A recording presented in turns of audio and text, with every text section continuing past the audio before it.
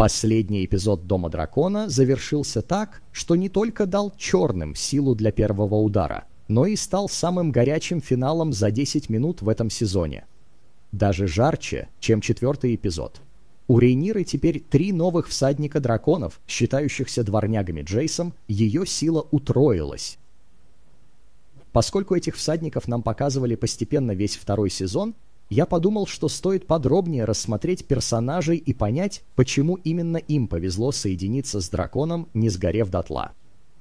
Итак, давайте перейдем к видео и разберемся в этом.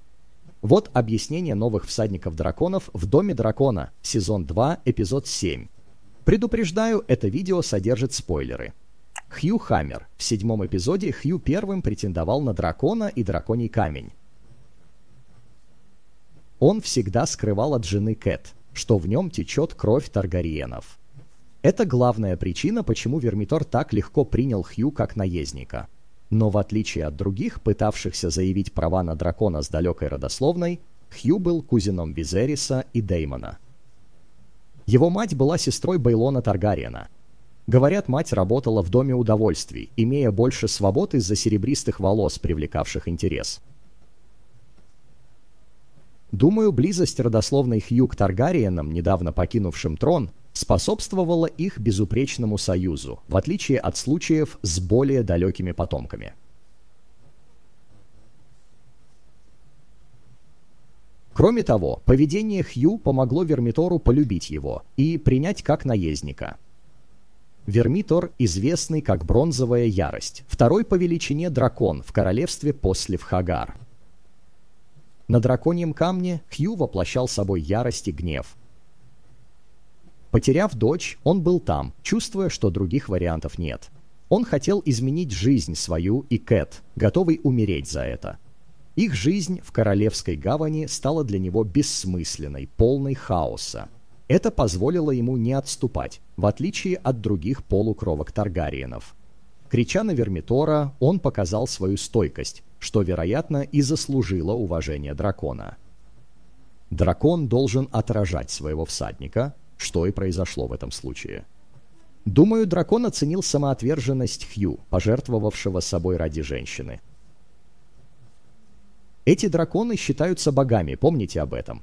Они наверняка отмечают каждую черту того, кто хочет с ними связаться. Хью и Вермитер кажутся идеальной парой по характеру. Я с нетерпением жду, как они поладят. В конце видео я раскрою спойлеры из книг. Если хотите узнать, что будет, продолжайте смотреть. Ульф. Вторым, кого мы видели в этом эпизоде сближающимся с драконом, был Ульф. В конце эпизода мы увидели, как он, убегая от хаоса, который устроили Вермитер, и он, сжигая всех, кроме Хью, Ульф оказался в пещере, где думал, что он в безопасности и один. Но на самом деле все было наоборот.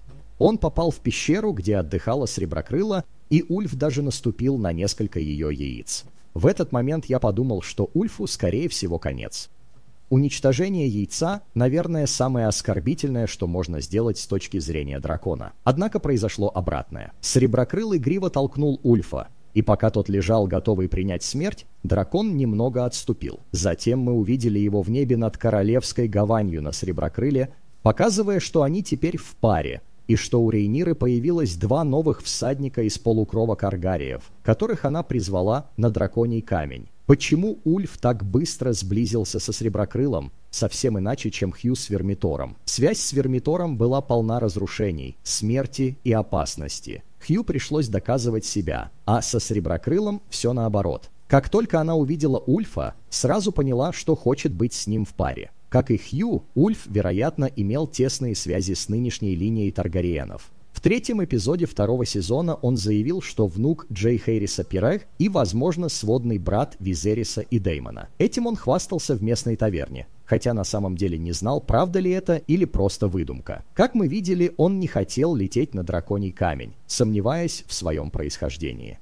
Вероятно, Среброкрыл так быстро выбрал его, потому что он действительно Таргариен, иначе связь не возникла бы. Думаю, как и Хью, он тесно связан с живыми Таргариенами, что и является главным фактором. Наверное, почувствовал это.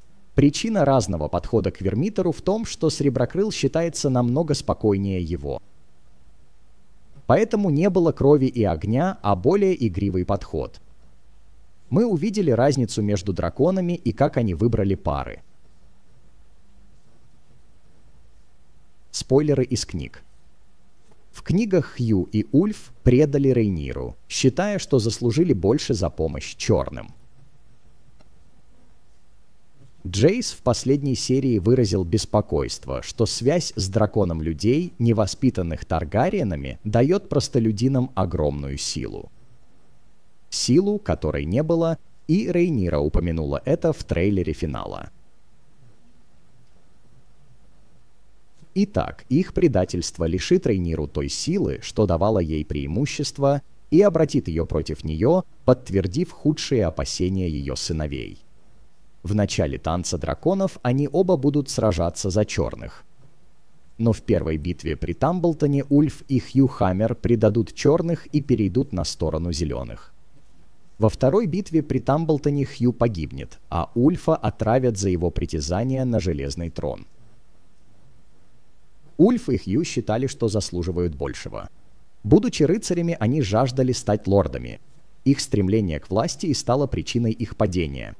Хоть во втором сезоне они кажутся верными, в третьем мы увидим их предательство и хитрость в полной мере – Сейчас у Рейниры есть сила с тремя новыми наездниками драконов, и я надеюсь, в финале мы увидим эпическую битву. Похоже, Эймонд поручит Хелен лететь на Дримфайре в бой, так что мы можем увидеть до семи драконов в финале. Сиракс, Сильверуинг, Вермитор, Сисмок, Вхагар, Дримфайр, Караксес и Вермакс. Сомневаюсь, что все пойдут в бой, это рискованно, но кто знает, это будет зрелищно в финале. Не забудем, что Рейна сбежала и ищет дикого дракона. Так что мы можем увидеть, как она свяжется с ним и вернется к Рейнире, чтобы присоединиться к битве. В любом случае, я с нетерпением жду, что произойдет и как развернется этот финал. Вот и все. Новые наездники драконов во втором сезоне Дома Дракона, эпизод 7, объяснены.